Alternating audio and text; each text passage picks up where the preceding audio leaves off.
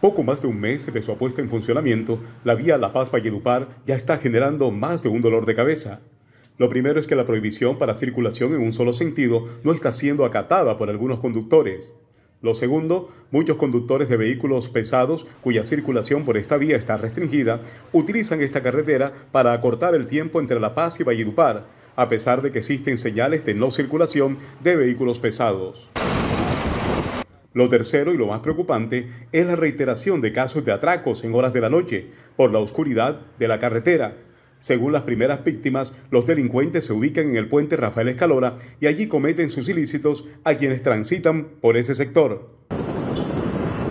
El llamado es para la Policía de Tránsito y Transportes de Valledupar, para los alcaldes de Valledupar, Mello Castro y La Paz, Martín Zuleta, y para el ejército a que realice los controles que sean necesarios para evitar que esta carretera se convierta en una vía de terror y lo que una vez se pensó como una manera de acercar a las dos ciudades termine siendo un verdadero dolor de cabeza para todos los usuarios. Y ni qué decir de quienes convierten sus vehículos particulares en habitaciones de moteles en horas de la noche en esta carretera, aprovechando la oscuridad.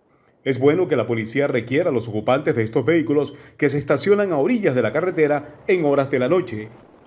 La vía Valledupar-La Paz fue inaugurada por el ministro de Transporte el pasado mes de enero con una inversión de 85.500 millones de pesos.